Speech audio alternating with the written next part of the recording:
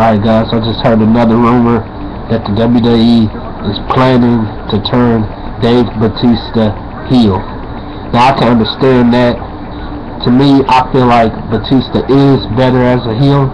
I mean, I never really was a big fan of face Batista, but heel Batista, yes, I always been a fan of heel Batista.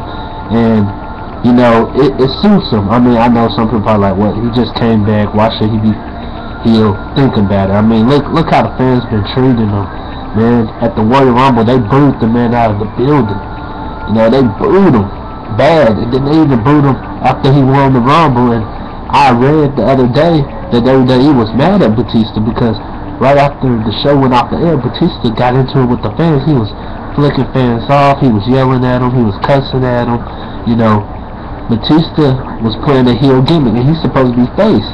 And then last night, you know, a lot of fans, they, some fans cheered him, some fans booed him, you know. Batista's supposed to be the man back. People supposed to be on his side, but obviously people are not. They're not happy with him.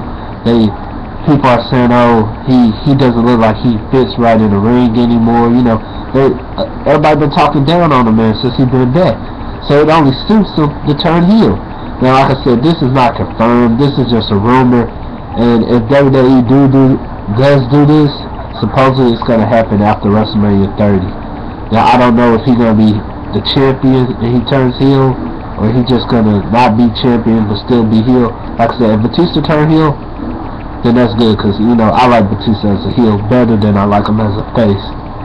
So, like I said, this is just something that WWE is considering, and you know, hopefully he turns heel. Because right now, you know, Batista, he alright, but, you know, if he's here, you know, maybe we'll turn around and be like, okay, okay, we'll start showing him more respect than we're giving him right now. Because we're giving him respect, but a lot of people, they don't, they're not giving him no respect at all. And I think maybe if he turns heel, we'll see that.